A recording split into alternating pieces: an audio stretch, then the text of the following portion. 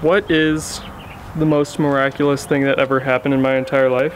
Beef Hannard hit the golf the golf cart picker upper truck thing at Topgolf with a golf ball. Yeah, the like the Like he was like, and then, and it then it like went the and then it hit it. Oh, he's, he's going! It's going! It's going! It's going! Oh!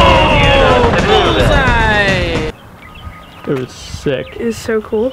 Anyways, um, I have some news. We found a bean. I got a bean. Okay, so I'll show you guys how this works.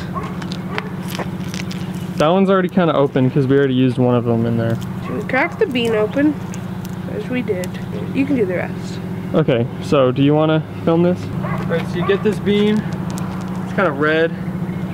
Uh, this one's a little bit more brown than some of the other ones, so it's probably not going to be as bad. And then you just want to scrape it on something, so like cement works pretty well. Just like, just want to like scrape it a bunch. See, it's like it's scraped, and you just, you just, ow!